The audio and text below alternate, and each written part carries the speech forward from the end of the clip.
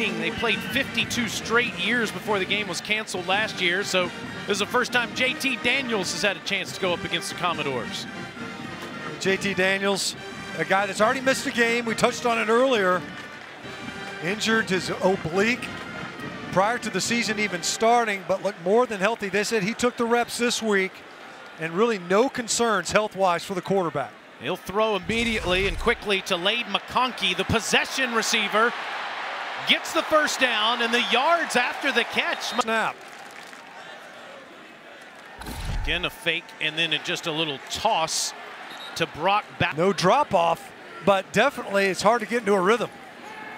Fake to McIntosh and a little tunnel screen catch made by Kearis Jackson. We'll show you those in just a minute after we show you the first down catch by Jackson, who is down inside the 30 yard line to the 27, two straight catches for the D8.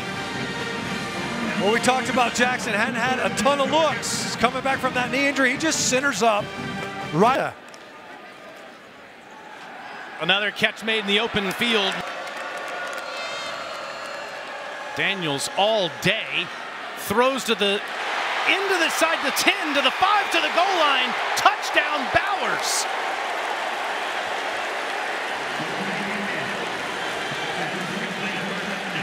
First half.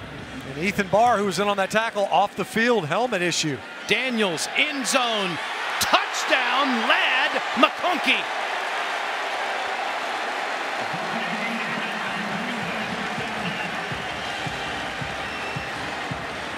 For an opponent that comes in here hot.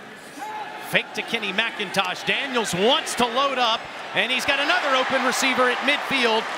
Or more for this Georgia offense. The SEC freshman of the week last week. AD grabs it again, fumbles the football, but